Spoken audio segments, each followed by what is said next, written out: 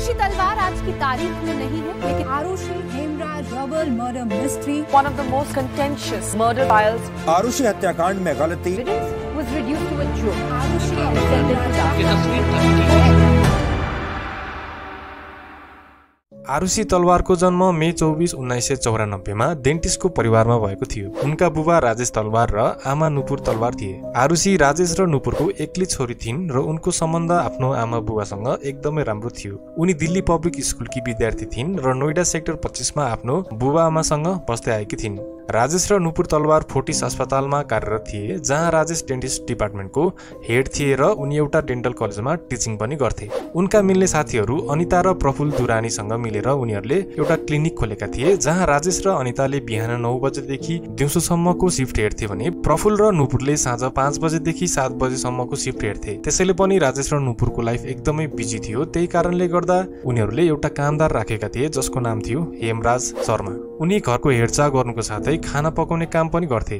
हेमराजको उमेर लगभग पैँतालिस वर्षको थियो र उनी नेपालबाट काम गर्नको लागि भनेर गएका थिए। वास्तविक घटना भन्नुभन्दा अगाडि तलवार परिवारको घरको बारेमा बुझ्न जरुरी छ ताकि तपाईँहरूलाई घटनाक्रमको राम्रो अनुमान होस्। आरुषिको घरमा इन्ट्रान्सको लागि तीनवटा ढोकाहरू थियो। फर्याङबाट चढ्न साथ बाहिरी गेट थियो जसलाई लक गर्ने गरिएको थिएन र त्यसपछि बिचमा एउटा ढोका थियो जसमा ग्रिल हालेको थियो र त्यो सधैँ लक गर्ने गरिन्थ्यो। त्यसपछि एउटा ढोका थियो जुन चाहिँ घरभित्र प्रवेश गर्ने ढोका थियो जुन सेल्फ लकिङ डोर थियो। प्रवेशद्वारकै दाहिनेपट्टि हेमराजको कोठा थियो जहाँ चाहिँ दुईवटा ढोका थियो। एउटा चाहिँ घरभित्र प्रवेश गर्न मिले र अर्को चाहिँ प्रवेशद्वारको दुई ढोकाको बिचमा खोलिन्थ्यो। सोह्र मे दुई हजार आठको बिहान छ बजीतिर तलवारको घरेलु कामदार भारती मण्डल सधैँ जसो बिहानै आइपुगेकी थिइन्। ढोका नजिक आएर उनले घरको घन्टी बजाउँछिन् र सधैँ हेमराज नै आएर एक घन्टीमै ढोका खोल्ने गर्थे। तर त्यस दिन एक घन्टी बजेको धेरै भइसक्दा पनि ढोका खोलिएको थिएन। धेरै बेर कुर्दा पनि ढोका नखोलेपछि दुई तिन घन्टी बजाउँछिन् र नुपुर आइपुग्छिन्। र सायद हेमराज दुध तरकारी लिन गएको होला एकछिनमा आएर खोलिदिन्छ होला भन्छन्। तर अरू घरमा पनि काम गर्न जान भारतीलाई हतार भइसकेको हुनाले चाबी पछाडिको बाल्कनीबाट फ्याँकिदिनु म खोलेर आउँछु भनेर भन्छन्। भारतीको मनमा चाहिँ केही शङ्कास्पद कुराहरू उत्पन्न हुन्छ किनकि त्यस्तो खाली वातावरण अहिलेसम्म सृजना भएको थिएन। पछाडिपट्टि गएर चाबी लिएर अगाडिपट्टिको लक भएको ढोका खोल्न खोज्दा अलिकति ढकल्न साथ त्यो ढोका आफै खोलिन्छ। त्यो देखेर भारती अचम्ममा पर्छिन्। भारती घरभित्र प्रवेश गर्छिन् र त्यतिन्जेलसम्म राजेश नि उठिसकेका हुन्छन्। उनले डाइनिङ टेबलमा रक्सीको बोतल देख्छन् र पके पनि केही भएको भनेर आवाज गर्छन् र राति आफूहरूले त पिएको थिएन तर बोतल कसरी डाइनिङ टेबलमा आयो भनेर सोचिरहेका हुन्छन्। त्यतिकैमा उनले आरुषीको रुमको ढोका अलिकति खोलिएको अवस्थामा देख्छन् र त्यो देख्न साथ उनीहरू अचम्मित पर्छन् किनकि घरभित्रको हरेक ढोका सेल्फ लकिङ सिस्टमको थियो जुन भित्रबाट आफै लक हुन्थ्यो र बाहिरबाट खोल्नको लागि चाबी चाहिन्थ्यो। त्यो ढोका देख्न साथ हत्तनपत्त रुमभित्र छिर्छन् र छिर्न साथ आफ्नो एकमात्र छोरी आरुषी मृत अवस्थामा फेला पार्छन् जहाँ आरुषीको टाउकोमा केही गरुङ्गो वस्तुले हानिएको र घाँटीमा केही धारिलो चिजले प्रहार गरेको जस्तो थियो र आरुषीको जिउभरि रगत नै रगत लतपतिएको थियो त्यो अवस्था देखेर राजेश र नुपुर डाको छोडेर रुन थाल्छन् र त्यो सुनेर भारती पनि आरुषीको रुममा प्रवेश गर्छिन्। राजेशले ठुलो ठुलो आवाजमा यसो भन्छन् भारती हेर त हेमराजले के गर्यो? भारतीले आरुषी तलवारको लास देख्न साथ उनी स्तब्ध हुन्छन् र आफूलाई सम्हाल्न निकै गाह्रो मान्छन्। उनी हत्तनपत्त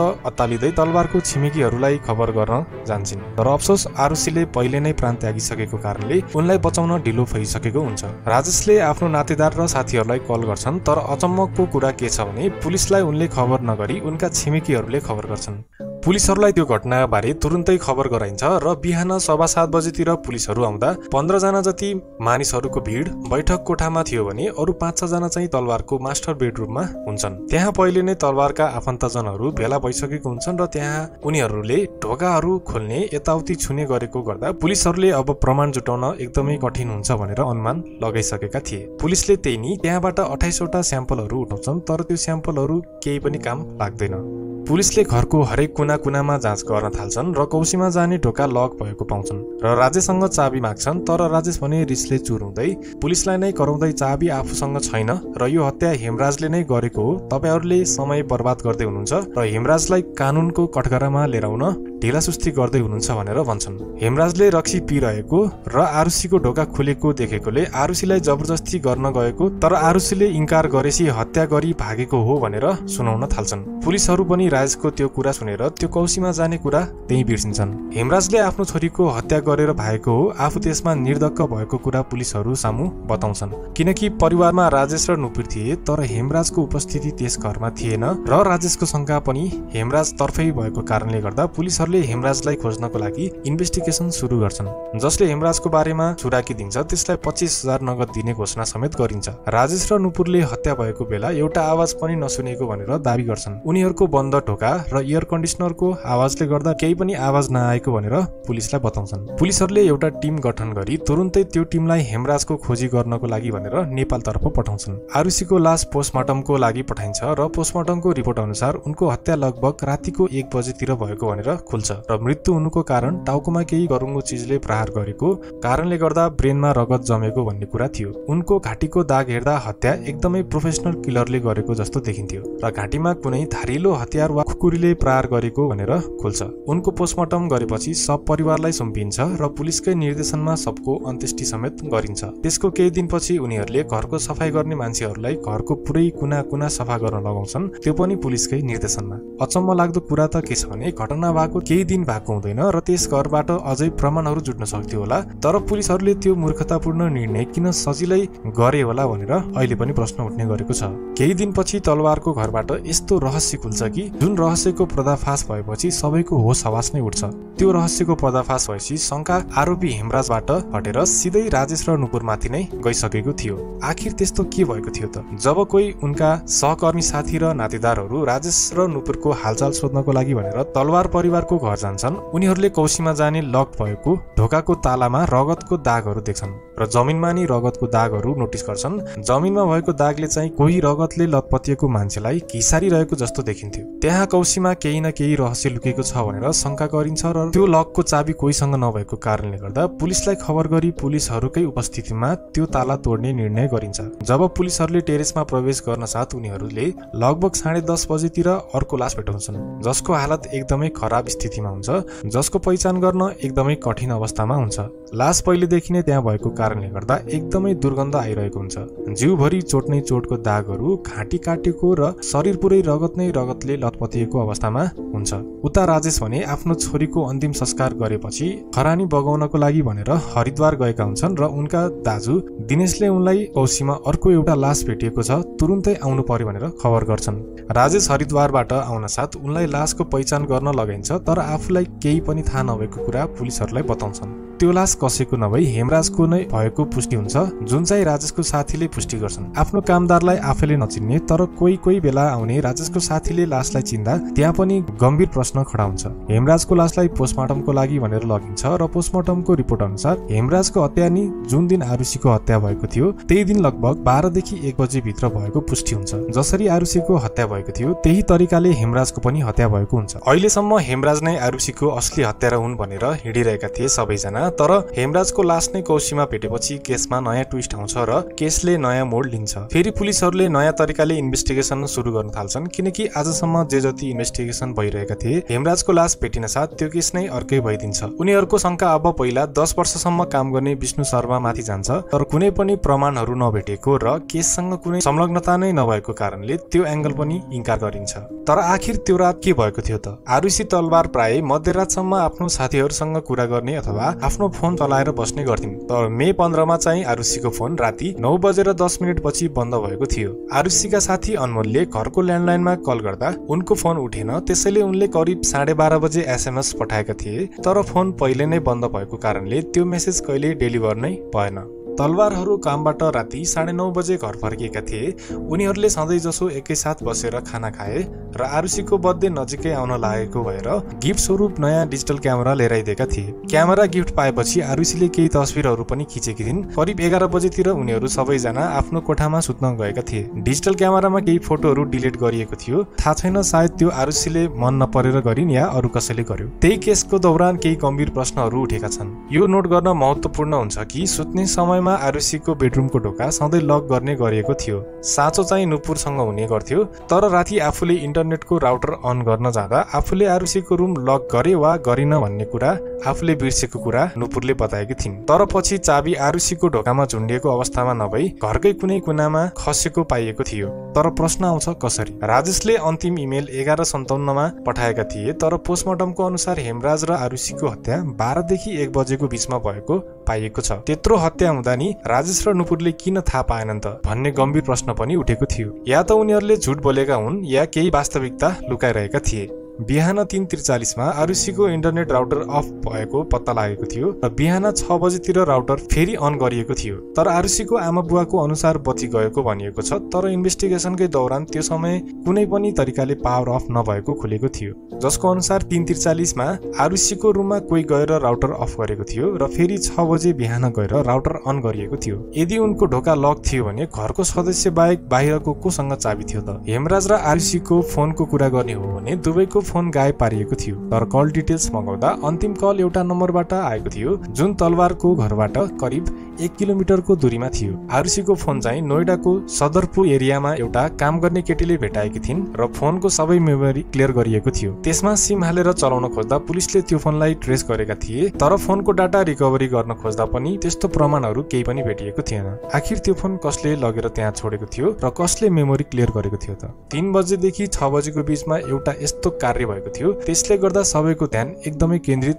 गरेको थियो। राजेशको फोनबाट उनको दाई दिनेशलाई कल गरिएको थियो र दिनेशको फोनबाट उनको साथी सुशीललाई र सुशीलको फोनबाट पूर्व पुलिस अफिसर गौतमलाई र गौतमको फोनबाट एउटा अपरिचित व्यक्तिलाई कल गरिएको थियो। यो एकचोटि मात्र नभएर छ चोटिसम्म यसरी क्रमबद्ध रूपमा भएको थियो। आखिर उनीहरू बीच क्रमबद्ध रूपमा के कुरा हुँदै थियो त? कसैको थ्योरी अनुसार चाहिँ आरुषीमाथि यौन दुर्व्यवहार भएको कारणले उनको शरीरबाट यौन दुर्व्यवहार भएको कुनै प्रमाण नभेटियोस् भन्ने बारेमा कुरा भएको भनेर आएको थियो। तीन वर्षको दौरानमा पोस्टमार्टम गर्ने डाक्टरले पनि आफ्नो बयान फेरिरहेका थिए। सुरुको रिपोर्टमा भित्री बस्ता खोलिएको तर रेप भने नभएको कुरा गरिएको थियो। तर केही समयको रिपोर्टपछि आरुषीको रेप पनि भएको थियो भनेर भनेका थिए। बारम्बार रिपोर्टमा किन त्रुटि थियो त? तलवारको घरमा चारजना बाहेक कोही पनि थिएनन्। तसर्थ त्यो हत्या राजेश र नुपुरले नै गरेको भनेर दबाब आइरहेको थियो। तर अहिलेसम्म किन पक्राउ गरेको छैन भन्ने प्रश्न पनि धेरै खडा भएको थियो। त्यही प्रश्नको साथै बाहिरबाट पब्लिक र मिडियाबाट एकदमै प्रेसर पुलिसहरूले सामना गरिरहेका थिए। त्यसैले गर्दा पनि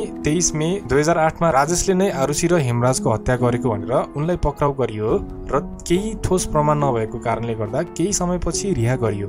यही केसलाई लिएर मान्छेहरूले विभिन्न खाले थ्योरीहरू बनाएका थिए। एउटा थ्योरीको अनुसार हेमराज र आरुषीको लभ अफेयर चलिरहेको थियो तर यो सम्भव थिएन किनकि आरुषी चौध वर्ष पुग्न लागेकी थिइन् र हेमराज भने पैँतालिस वर्ष पुगिसकेका थिए। थ्योरीकै अनुसार त्यस रात आरुषीको आमा बुवा सुत्न गएको थाहा पाएपछि हेमराज र आरुषी अतिरिक्त क्रियाकलाप गर्दै थिए र त्यही दृश्य देखेर राजेशले रिसमा आई दुवैको हत्या गरिदिए ताकि उनको बदनाम समाजमा नहोस् भनेर। अर्को थ्योरीको अनुसार राजेशको बाहिरको केटीसँग अफेयर चलिरहेको थियो र त्यो बारेमा आरुषी र हेमराजले थाहा पाएको कारणले गर्दा बाहिर कतै हल्ला नफैलिस् भनेर उनीहरूको हत्या गरेका थिए। त्यही दुईटा थ्योरीलाई मिक्स गरेर पुलिसहरूले एउटा थ्योरी बनाउँछन् राजेशको उनकै साथीको श्रीमती अनितासँग अफेयर चलेको र त्यो कुरा आरुषीले थाहा पाएको र आरुषीले त्यो कुरा हेमराजसँग सेयर गर्दा हेमराज र आरुषी बीच नै घनिष्ठ सम्बन्ध बढ्दै गएको र त्यस रात हेमराज र आरुषी बीच अतिरिक्त क्रियाकलाप भइरहेको राजेशले देखेपछि सहन नसकेर दुवैको हत्या गरेको भनेर पनि भनेका थिए। जति थ्योरीहरू बने तापनि राजेशको विरुद्ध भने कुनै पनि ठोस प्रमाण भने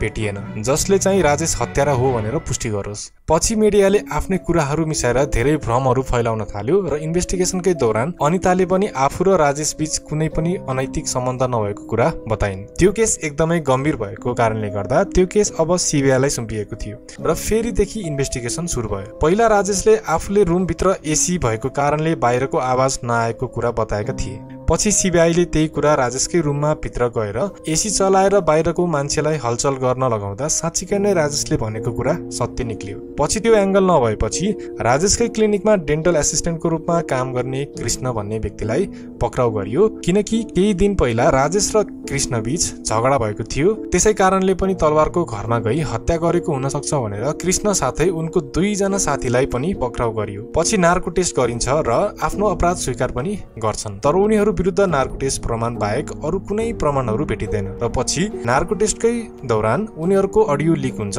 जुनमा साफ उनीहरूलाई फसाउनको लागि पेचिलो प्रश्नहरू सोधिएको थियो भनेर पुष्टि हुन्छ र पछि उनीहरूलाई रिहा गरिन्छ। पछि अनुसन्धानकै दौरान राजेशकै घरमा खुकुरी भेटिन्छ र त्यसमा रगतको धब्बाहरू पनि थिए। तर त्यसलाई जाँच गर्दा मान्छेको रगत नभएको पुष्टि हुन्छ। दुई हजार दसमा सिबिआईले त्यो केस अर्कै टिमलाई सुम्पिन्छ र दुई हजार एघारमा कोर्टमा फेरि राजेश र नुपुरलाई बोलाइन्छ र उनीहरूको विपक्षी वकिलले यस्तो खाले स्टेटमेन्ट जारी गर्छन्। त्यस रात राजेशले केही आवाज सुनेको र आफ्नो गल्फ स्टिक लिएर उनी आरुषीको रुमभित्र जान लागेको र आरुषीको रुमभित्र छिनसाथ आरुषी र हेमराज दुई बीच यौन सम्पर्क भइरहेको देखेका थिए। आक्रोशमा आई आफ्नो गल्फ स्टिक हेमराज भयतर्फ फालेको तर गल्तीले त्यो गल्फ स्टिकले जोडसँग आरुषीको टाउकोमा लाग्नाले आरुषीको मृत्यु भएको भनेर विपक्षी वकिलले बताउँछन्। प्रत्यक्षदर्शी हेमराज भएको कारणले गर्दा हेमराजको नि त्यही गल्फ स्टिकले टाउको फुटाई हत्या गरेको र पछि घाँटी दरिलो हतियारले काटेको कुरा बताउँछन्। नोभेम्बर दुई हजार तेह्रमा फेरि केस खुल्छ र राजेश र नुपुरलाई आजीवन कारावास हुन्छ। सबैले आरुषी र हेमराजले अन्तिममा न्याय पाए भनेर सोचिरहेका हुन्छन् तर दुई हजार सत्रमा तलवार दम्पतिलाई रिहाइत गरिन्छ किनकि त्यतिन्जेलसम्म उनीहरूको विरुद्ध कुनै पनि ठोस प्रमाण भने जुटेको थिएन र अहिले उनीहरू खुल्ला रूपमा घुमिरहेका छन् र रिहाई भएपछि केस बिग्रिनुको कारण पुलिसले गर्दा हो भनेर सबैले आरोप लगाएका थिए। तर यहाँ गल्ती कसको छ त भनेर अहिलेसम्म पुष्टि हुन सकेको छैन। न त पुलिस अधिकार कर्मीहरूको न त आरुषीको आमा बुवाको। गल्ती जसको भए तापनि अहिलेसम्म आरुषी र हेमराजले न्याय पाएका छैनन्। सुरुबाट नै पुलिसको भितलो अनुसन्धान र सबै कुराहरू गन्जागोल हुँदै गएको कुराहरूले गर्दा सजिलैसँग सोल्झदै जानुपर्ने केस छन् उल्झदै गएको थियो। दुईजनाको हत्या भए लगत्तै सूचना पाए पनि त्रुटिपूर्ण अनुसन्धानले गर्दा वास्तविक प्रमाण कहिले पनि जुट्न सकेन। यो भन्न सकिन्छ कि यो त्रुटिपूर्ण मुद्दा थियो। प्रमाणका टुक्राहरू जम्मा पार्नेदेखि अपराध स्थलको विभिन्न संस्करणहरूदेखि षड्यन्त्रहरूसम्म सबै त्रुटिपूर्ण र अन्यलमा थियो। यो हत्याराको जित होइन तर सिङ्गो न्यायालयलाई नै भएको ठुलो नोक्सानी हो। हत्याराको वास्तविक पहिचान आँखा अगाडि नै हुँदा पनि कानुन अन्धो भएको छ या इतिहास कालमै यो घटना रहस्य बनेर बिलाउनेछ तपाईँको यो घटनाप्रति के प्रतिक्रिया छ? कमेन्ट गरेर बताउनुहोला। र यस्तै रहस्यमय घटनाको लागि क्युरियस नेपाललाई सब्सक्राइब गर्नुहोला।